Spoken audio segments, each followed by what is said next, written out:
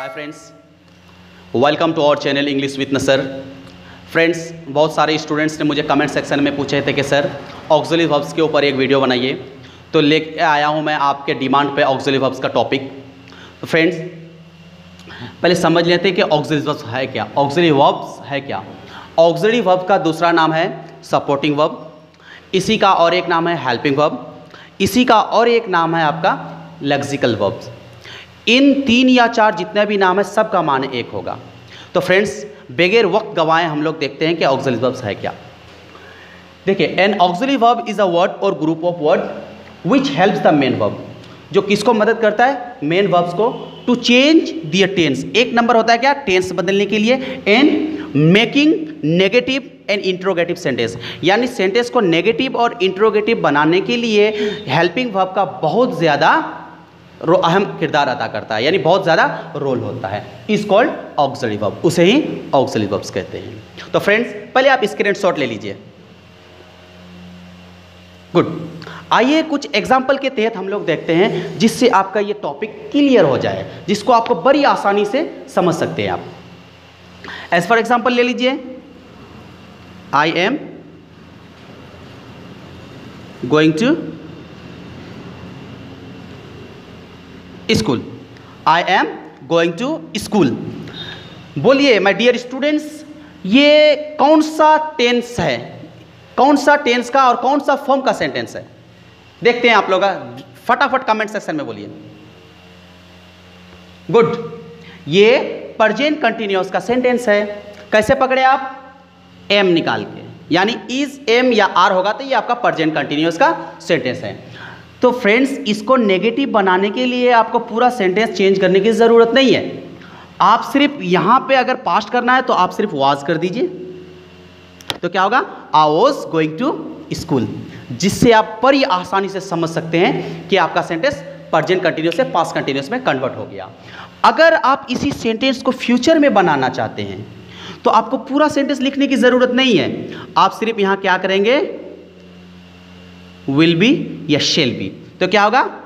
I will be going to school या I shall be going to school और present में बनाएँगे तो I am going to school और पास्ट में बनाएँगे I was going to school friends यही है जिसे आप बड़ी आसानी से इसको समझ सकते हैं। देखिए, एक नंबर काम आपका टेंस चेंज कर दिया। यानी सबसे पहला काम क्या है इसका? टेंस चेंज करना। टेंस चेंज कर दिया ये। एक मिनट में टेंस चेंज कर दिया। ठीक है? आइए कुछ दूसरा एग्ज़ाम्पल देखते हैं जिससे आपका क्लियर हो जाए क्या कि दूसरा एग्ज़ाम्पल है किसके ऊपर। अब देखिए सेंटेंस में हेल्पिंग वर्ब का काम नेगेटिव और इंट्रोगेटिव बनाना। ये भी एक बहुत बड़ा पॉइंट है सब स्टूडेंट्स के लिए। बहुत स्टूडेंट्स मैंने पूछे कि सर नेगेटिव और इंट्रोगेटिव में ये कैसा अहम किरदार अदा करता है? देखिए कैसे।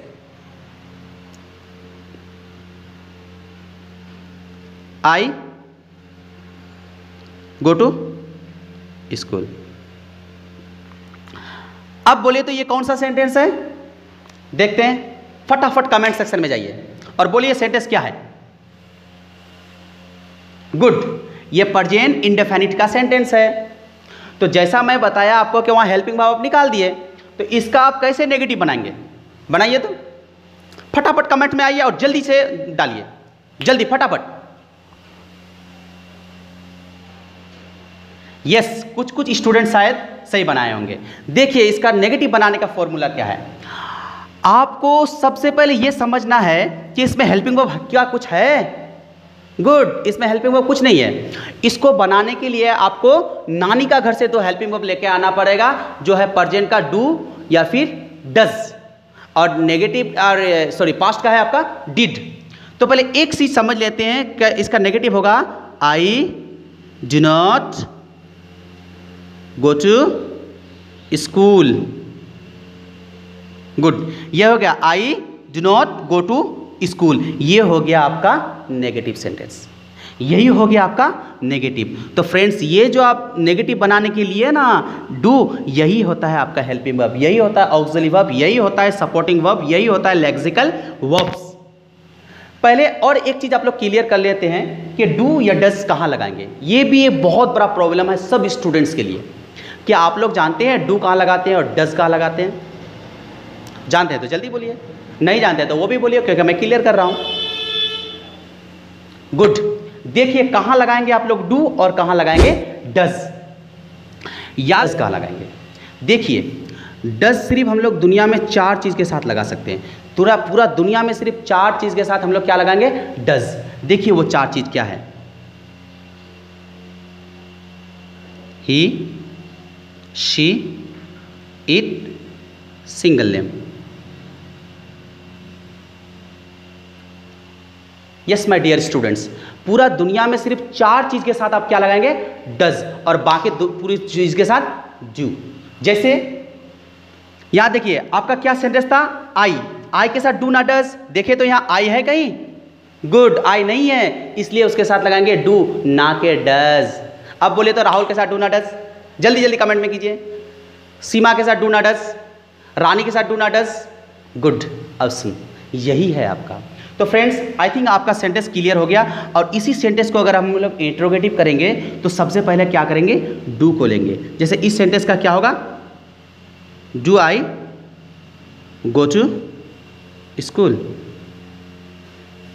ये हो गया आपका इंट्रोगेटिव सेंटेंस तो फ्रेंड्स आई थिंक इस तरह से आप बड़ी आसानी से इसको समझ सकते हैं। अब समझ सकते, आप समझ लेते हैं कि आखिर ऑक्सिलरी वर्ब का पार्ट कितना होता है। इसका कितना पार्ट होता है? आइए बड़ी आसानी के साथ उसको भी समझ लेते हैं। पहले आप स्क्रीन ले लीजिए। गुड तो ऑक्सिलरी तीन तरह का होता है। ऑक्सिलरी का कितना बच्चा है?